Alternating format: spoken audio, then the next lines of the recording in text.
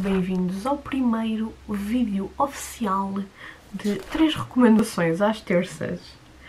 Hoje vou falar-vos de três livros que foram publicados nos anos 20. Já que estamos em 2020, vamos começar uma nova década, ou melhor, já começámos. Um, Queria-vos falar de três livros que eu tenho nas minhas estantes que eu gostava de ler, eventualmente, uh, e que foram publicados sensivelmente há 100 anos. Eles não, não sei se eles foram publicados mesmo e especificamente uh, ali no ano de, uh, 1920, agora dizer 2020, não, em 2020 não foram publicados, uh, mas que foram publicados na década de 20. Um deles é o Belos e Condenados, do F. Scott Fitzgerald.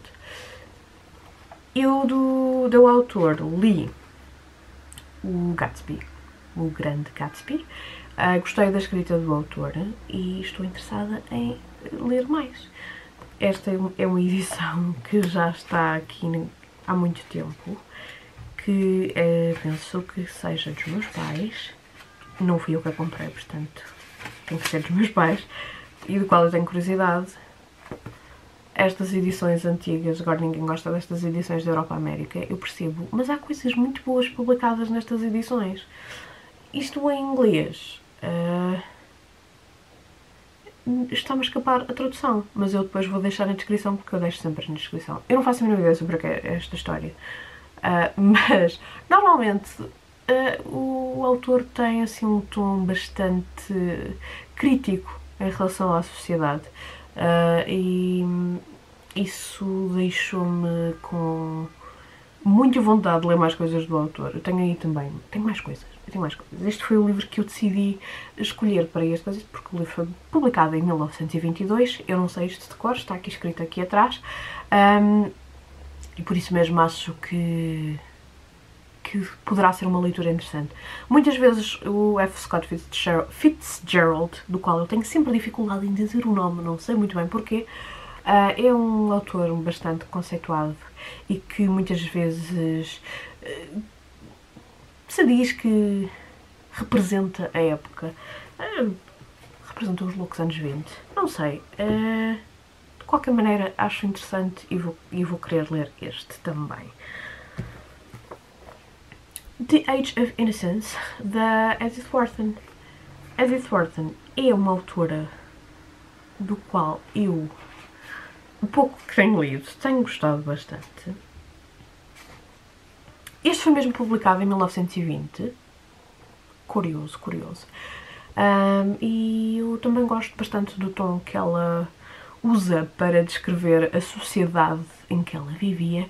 Apesar deste não ser um livro em que a história se passe nos anos 20, um, que é a diferença entre, por exemplo, estes dois autores, que o que interessa neste momento é que foi publicado nos anos 20. Portanto, é, é isso que estamos e como lá está, é, é daquelas coisas, eu tenho que me relembrar constantemente que tenho muita coisa interessante de clássicos modernos uh, que são do início do século XX, que são interessantes. É, isto é tudo à volta dos 20. É o século XX, é os anos 20, são mais de 20 livros para ler, mas eu aqui só vos vou falar de três.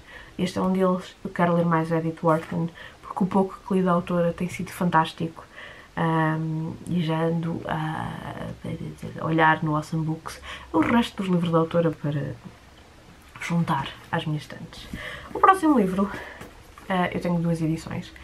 É o Som e a Fúria, do William Faulkner. Uh, eu tenho uma, versão, uma edição em inglês e tenho uma edição em português, que vocês devem ter visto no meu book haul de Natal. Um, porque este é um livro que Há muita gente que tem dificuldade em lê-lo. Uh, eu sei que ele já saiu uma vez no Clube dos Clássicos Vivos e que eu tive para o ler, mas depois não. li ter edição em inglês, uh, mas depois não, não deu para ler. É um livro que é complicado de se ler. Uh, eu não vos queria dar a dizer o porquê, porque eu sei o porquê. Está relacionado com uma das personagens e o facto da narração ser na primeira pessoa e essa personagem ser algo, ser, ter. Hum, qual será a maneira menos pejorativa de dizer isto?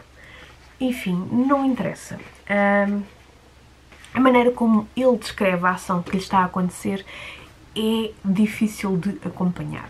Portanto, torna este livro, talvez, uh, faz com que ele tenha a relevância que ele ainda tem como clássico, mas uh, faz com que seja, às vezes, difícil a sua leitura. Eu tenho, uh, lá está, em português e inglês, porque eu quero comparar as duas edições, somente a primeira parte do livro, que é a parte mais complicada de ler. Quando é que eu vou ler este livro? Isso já é uma pergunta mais difícil de responder. Aliás, em, em relação a qualquer um destes. Apesar de eu, Edith Wharton, quero ler em 2020 sem falta. Ai, o Fitzgerald também devia. E o Faulkner. Uh, na verdade, também deveria lê-lo em 2020 porque estes dois livros vieram para a minha estante no ano passado. O que isso significa é que se não for lido este ano só vai ser lido daqui a dois ou três anos. Mas enfim, isso já é outra conversa. Já leram algum destes livros? Gostaram? Não gostaram? Ficaram interessados em ler algum? Digam-me nos comentários e até ao próximo vídeo.